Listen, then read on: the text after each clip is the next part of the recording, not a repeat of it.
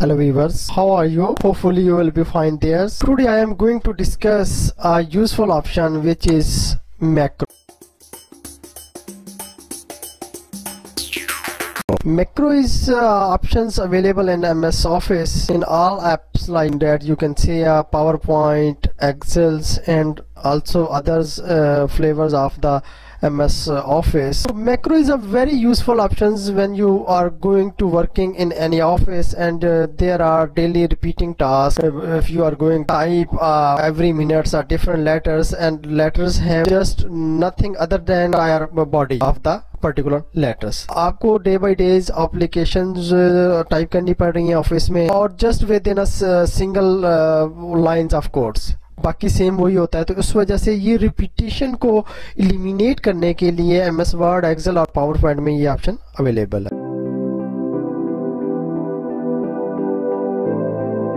Don't miss to miss to subscribe the channel's IT expertise with Munne Makhtar. Let's discuss uh, what is macro. Macro is a series of command just like I have told earlier कि आप अगर repetition of commands हैं, वो eliminate करना चाहते हैं तो आप लोग मैक्रो यूज़ कर सकते हैं। And instruction that gives group together is a single commands to accomplish task और you can use to mate task. Second point, then you can run the macro by clicking the button, pressing a combination of keys. आपके पास एक ऐसा letter है ऐसा format है जो आपके पास दो चार लाइनें चेंज होती हैं बाकी सेम वही लेटर रहता है। तो आप इसको यूज़ करके वो पहले बना के रख लेते हैं। Within a single keyboard click आप उसको एक्सेस कर लेते हैं वो दो लाइनें चेंज करते हैं और आफ्टर डेट आपका लेटर जो है वो कंप्लीट हो जाता है। तो this is called macro how to use macro in M S words mouse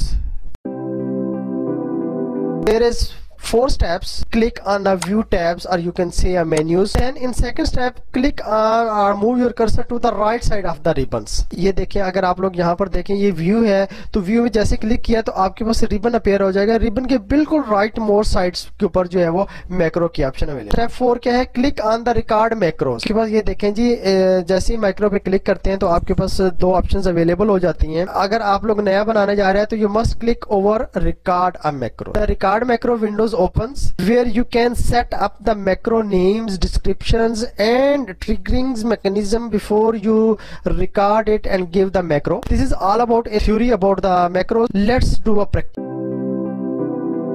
don't miss to subscribe the channels IT expertise with Mona Mukhtar पे मैक्रो बनाना चाहते हैं तो मैक्रो के लिए फ़र्स्ट ऑफ़ फ़र्स्ट हमारे पास होम टैब ओपन हो गई है तो हमने कहाँ पे जाना है जी? View tab support with the help of mouse click on the views after that just like I have told earlier कि आपने माउस के कर्सर को राइट साइड पे मूव करते हुए मैक्रो की ऑप्शन पे जाना है और इस एरो पे क्लिक कर देना है। जैसे एरो पे क्लिक करोगे तो view macros just like there is no already created macros ठीक है? तो you must click again and record a macros here you will see कि आपके पास जैसे ही मैक्रो पे क्लिक करते हैं तो एक नई विंडो अपेयर हो जाती है। उस विंडो में just give the name window is assigning itself micro once and you can also assign a keyboards means shortcut keys तो आपने क्या करना है जी? राइट साइड पे माउस कर्सर को क्लिक करके ये देखिए कीबोर्ड पे क्लिक कर देना है। आपने माउस का लेफ़्ट बटन को प्रेस कर देना है।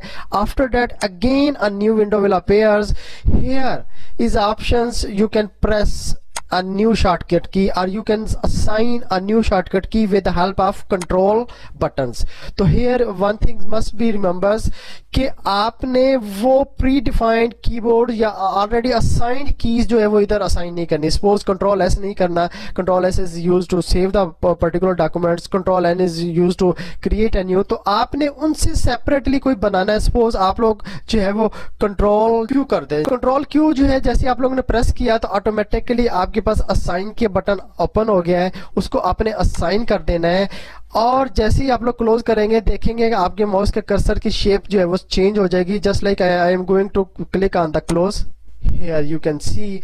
अब यहाँ पर आपने अपने सारे मटेरियल्स को टाइप करना है और ऑटोमेटिकली इट्स मीन अब आपके पास रिकॉर्डिंग मोड इनेबल हो चुका है। Let's type a few words viewers, I have typed a few words about the applications. Now, these words have been recorded. Now, move your cursor to the macro. Again, a new uh, option is available here.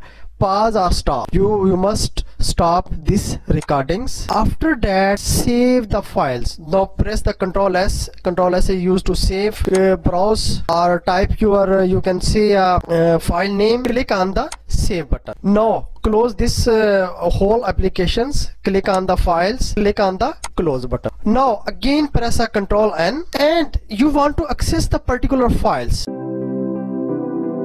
here is a whitish area just press the particular combination which is assigned during the uh, तो आपने उस उस combination को press कर देना है Q viewers have a look आपके पास जैसे ही control Q press किया तो automatically सारी application आपके पास open हो चुकी है अब आपने just उसका नाम change कर दें जी have a look after editing two words आपकी एक नई एप्लीकेशन जो है वो यू कैन से या प्रिपेयर हो चुकी है। तो इस तरीके से आपकी रिपीटेशन ऑफ़ कमांड जो है वो एलिमिनेट्स हो जाती हैं और आप 10 मिनट 15 मिनट 20 मिनट का काम जो है वो एक दो मिनट में काम करके अपना परफॉर्म कर सकते हैं। This is all about the macro options hopefully जो enjoy and learn a lot thanks don't forget to subscribe and share the channel